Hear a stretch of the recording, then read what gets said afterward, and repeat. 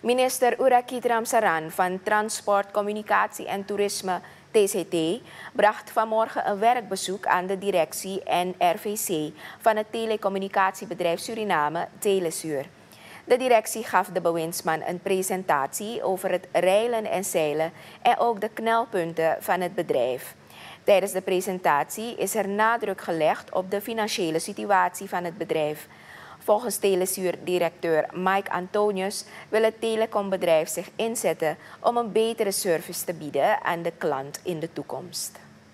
Om die reden zijn wij dus erg gefocust op projecten uitvoeren waarbij ook onze klanten steeds meer digitaal zaken met ons gaan doen.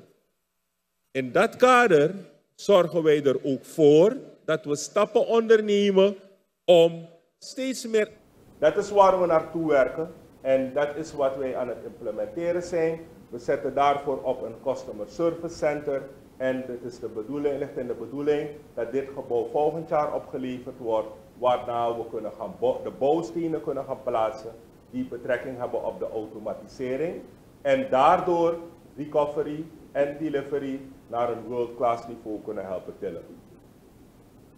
Verder, als het gaat om onze aankoop tot betaling, daar hebben wij een aantal zaken in geautomatiseerd. Het klinkt misschien eenvoudig, maar we proberen zoveel als mogelijk met dit traject alles digitaal te doen, waardoor wanneer er audits verricht moeten worden, je eigenlijk alles op, digitaal opgeslagen hebt en niet in dozen dingen moet gaan zoeken. Dus dat is een van de simpele voordelen. En voor de rest is het hele proces dan transparant en makkelijk te volgen.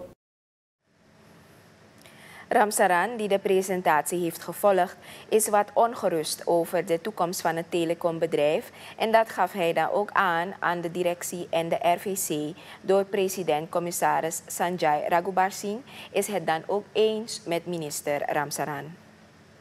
Waar we naartoe willen gaan, dat zijn twee richtingen op. Eén, vooruitzichten en vooruitgangen. En twee, waar we niet naartoe willen gaan, en dat is kopje onder.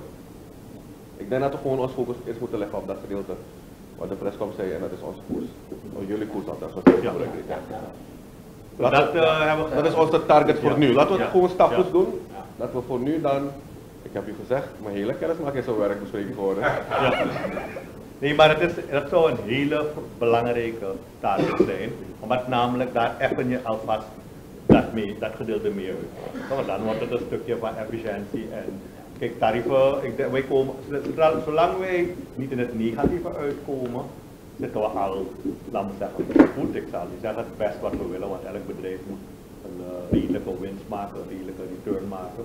Maar voor kijken, in deze sector willen we alvast blij zijn, of blij beginnen te worden, wanneer we nul zien, geen verlies.